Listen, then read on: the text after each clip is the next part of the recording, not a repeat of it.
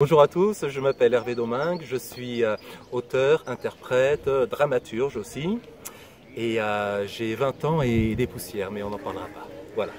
Alors là, je suis là aujourd'hui avec grand plaisir suite à une invitation de, Chantal, voilà, qui m'a contacté suite à mon passage à, The Voice.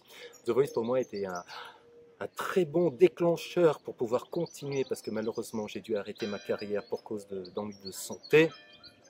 J'ai un très gros problème aux yeux.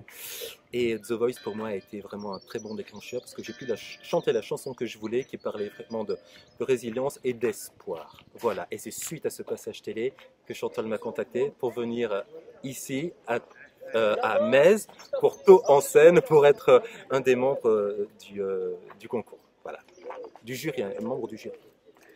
Qu'est-ce que tu attends de cette soirée?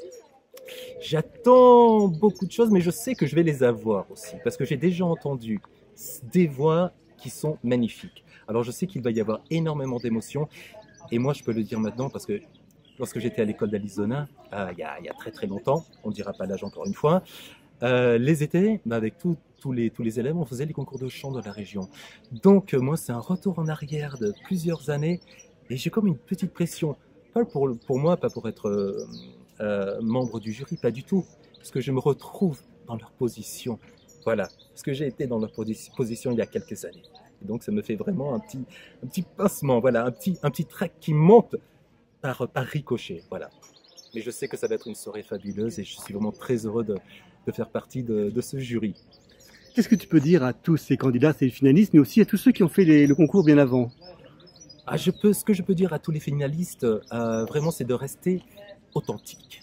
Parce que dans ce métier, il n'y a rien de mieux que l'authenticité. Lorsqu'ils vont chanter, être le plus, le plus vrai possible. Parce que c'est lorsque l'on est vrai que, que l'on dégage, que l'on transmet des émotions. Alors bien sûr, avec le track, il va peut-être y avoir des fausses notes, peut-être des oublis de paroles. Mais c'est pas grave parce que du moment que le candidat reste authentique, le public est happé par cette présence, par cette lumière. Et c'est là être artiste, c'est le début vraiment de l'artiste.